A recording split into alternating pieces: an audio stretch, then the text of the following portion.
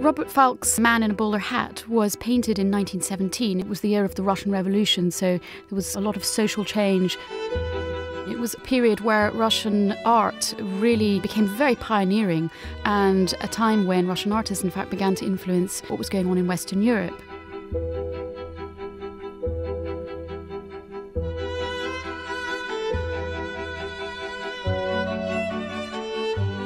The interesting thing about this portrait in particular is the sitter. His name was Yakov Kagan Shabshai, and he was a distinguished member of the Jewish elite he was an electrical engineer, in fact, by training, and he was a businessman as well. In the 1910s, there was a real renaissance in collecting, and many of Russia's greatest collectors uh, were very active at this time. Kagan Shabshai, among them, his focus was really on Jewish art, and he was not just a collector but also a great patron.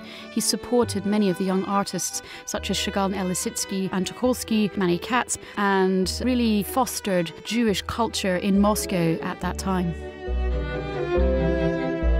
Was one of the first people to actually discover Chagall's greatness. He collected, I think, around 30 of his early works at a time when Chagall was sort of seen as a bit of an eccentric.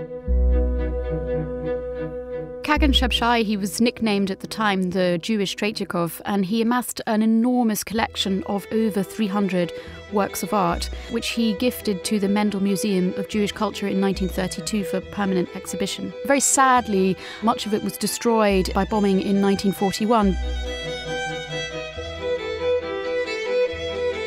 Looking closer at the style of the portrait, we can see a strong influence of Cézanne on his work. This is very typical for artists who were in the Jack of Diamonds group.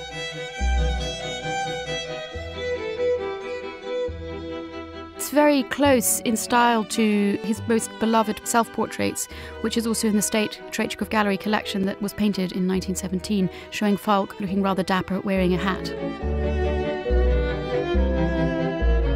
Portrait was first exhibited in Russia in 1917, but then at the artist's personal exhibition at the Tretyakov Gallery in 1924. The painting was in a private collection for most of the 20th century.